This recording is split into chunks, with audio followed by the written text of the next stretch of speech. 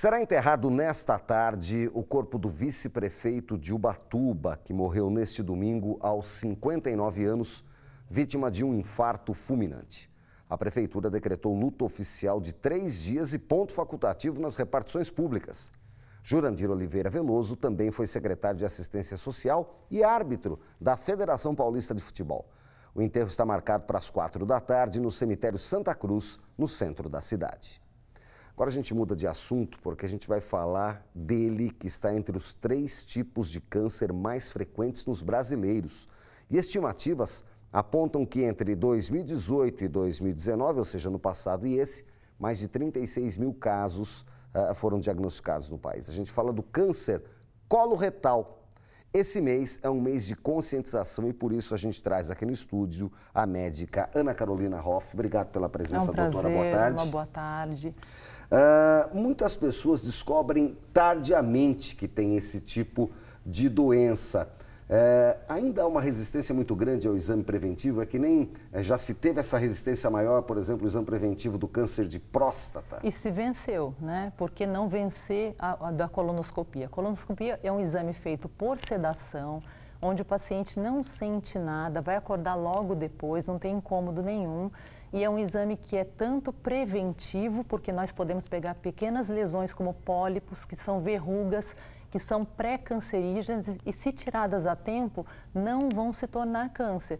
Como já pode ser também a gente pegar pequenos é, já cânceres e conseguir retirar por meio da colonoscopia sem a necessidade de cirurgia. Então, um exame extremamente importante. E quando que a população deve fazer esse exame? Tem uma idade limite? Para homem e para mulher é a mesma coisa? Então, Como é que é?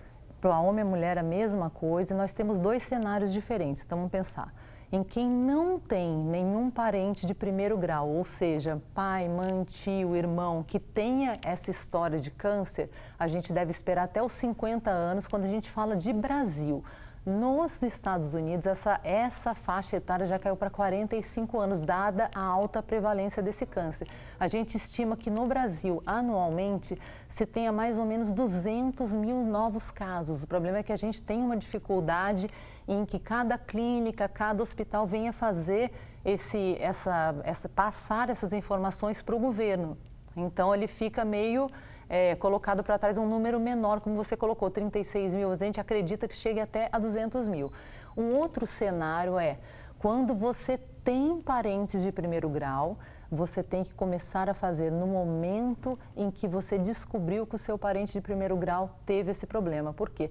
Eu até falo como experiência pessoal, eu sou filha de quem tem câncer de colo. Meu pai está vivo, sim, mas ele teve esse câncer há 20 anos atrás e no momento que ele teve, eu já comecei a fazer o exame, assim como meu irmão e, e assim todo e mundo. E assim toda a família. Sim. Agora, existe alguma coisa que, que prevaleça nessa doença? Tem assim, é, a questão da alimentação, a ver, não? Temos que pensar assim. Eu sempre penso num câncer, a gente tem que pensar numa balança.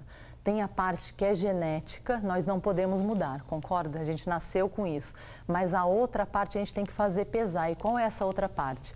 Parar de fumar, controlar o peso, porque ele é um câncer que está extremamente ligado à obesidade. A gente tem visto a obesidade aumentar demais no país, então isso explica esses números em ascensão. Alimentação errada, ricas em carnes processadas, salame, salsicha, exercícios físicos regulares que tanto ajudam a manter o peso quanto a fazer o intestino funcionar mais. Então, quanto mais tempo eu tenho fezes dentro do intestino que não são colocadas para fora com regularidade, mais tempo essas fezes estão em contato com a mucosa e podem sofrer uma degeneração ali dessa mucosa. Para a gente encerrar, doutora Ana, é... Quais os sintomas? É possível saber que tem alguma coisa errada e se deve correr? O que dá para falar para a população? Nós sempre temos que pensar em três coisas. Vamos pensar no mais básico: sangue nas fezes muco nas fezes, ou seja, catarro nas fezes, e alteração dos hábitos intestinais, uma pessoa que sempre teve o hábito intestinal regular, começou a ter muita diarreia, ou começou a ficar muito preso, ou o cocô mesmo, era maiorzinho, calibre, depois ficou mais fininho.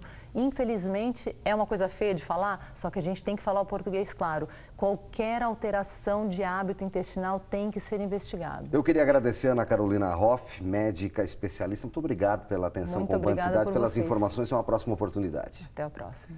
A gente segue com o Band Cidade depois do intervalo, onde vamos trazer dicas do Procon para aproveitar a temporada de liquidações que está tendo na cidade de Taubaté. Não sai daí, é 1 e 9, a gente volta já.